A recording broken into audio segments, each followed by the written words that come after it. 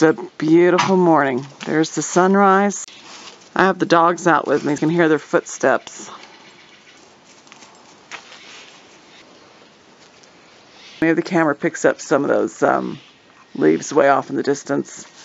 They are definitely turning. Any people who like to look at the leaves come up sometime this week. Or if you can't, then definitely come as soon as you're off work on Friday or Saturday. I am so thankful to God when I got this cabin and we got it this very day, October 1st was closing day 31 years ago. And now I'm living here full time. And I am so glad. Oh, I love being back in paradise.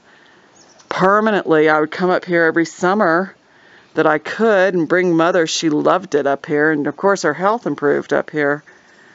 Naturally, getting out of El Paso with all the toxic air. Look at that sky.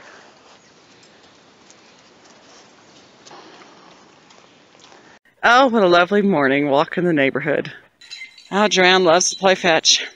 Yeah, you're having a good time, aren't you? Oh, listen to him. He's not far. No distant sounds of rumble from cars. Oh my. At night, the sky is pitch black and the stars look like I could reach out and just touch them. Did you hear him? I can only say this no job is worth staying in if you're living someplace that's hazardous to your health. And I guarantee you, if you're living in El Paso, you're living in an environment that is proven to be hazardous to your health. It's toxic the air you're breathing. It raises blood pressure, raise your risk of stroke, and of course, lung cancer. You don't know how much longer you have left. So whatever time you've got left, make it be in a beautiful place that's good for you.